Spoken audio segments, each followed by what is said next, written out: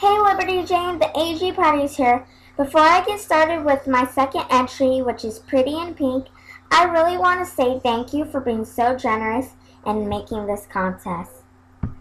Starting with the shoes, I have a white low top Converse. Instead of being Converse, I made them Janes. If you look at the tongue, instead of it saying All Star, it says Janes. These Converse are actually white.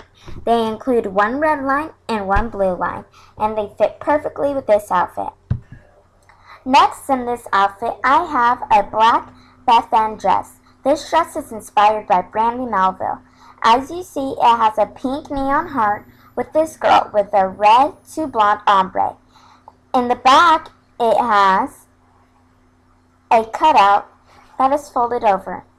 If you look real good, you can see the pink bow to match. This bow is pink. In the next pieces, I will show full real pictures of what is included in this design.